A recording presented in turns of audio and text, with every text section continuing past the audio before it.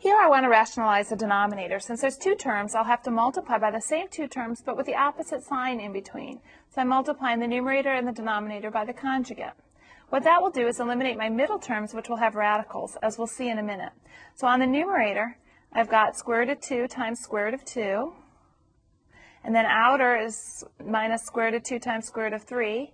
Inner is minus square root of 2 times square root of 3. And last will be plus square root of 3 times square root of 3 because there's two negative signs.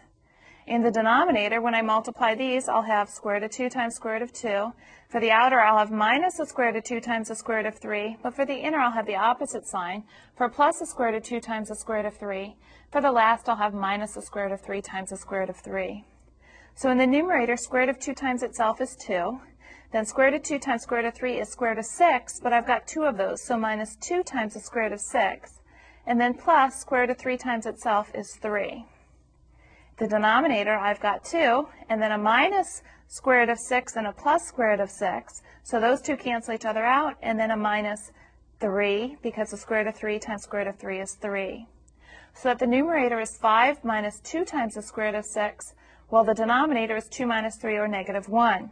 But I don't need to leave a negative 1 in the denominator. I could instead multiply by negative 1 over negative 1, which instead distributes the negative over the numerator to give me negative 5 plus 2 root 6. By changing both signs in the numerator, that cancels the negative out of the denominator.